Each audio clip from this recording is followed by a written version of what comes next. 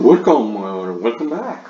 I need help at c squared. In this problem, we're going to look to solve for the variable shown, which is right here, this x, which is the hypotenuse of this right triangle.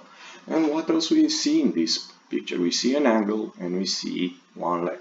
The problem is which of these trigonometric function can be used, right? And we're going to stay just with these three, the classic one, sine, cosine, and tangent.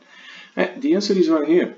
We have the angle given, then we have the adjacent leg given, and then we're looking for the hypotenuse. Which trigonometric function use these elements in it?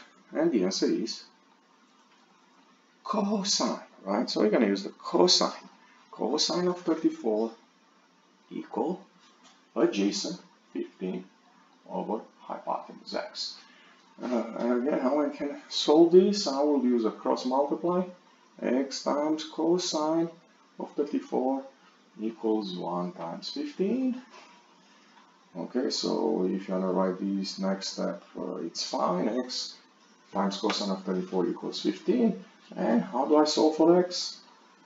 Divide by cosine of 34 on both sides, right? So the final answer for this problem is this one.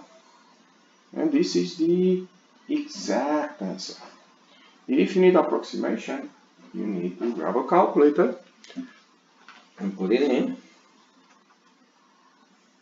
Now be sure your calculator is in degree mode since the angle is in degree. And we should get 18 point uh, all these decimals. Now obviously you don't, most of the time you're not going to need all these decimals. You, you may be asked to round to the nearest 10, 100 and so on. If you enjoyed this video, don't forget to click the like button, down right, and come back on C square. Thank you.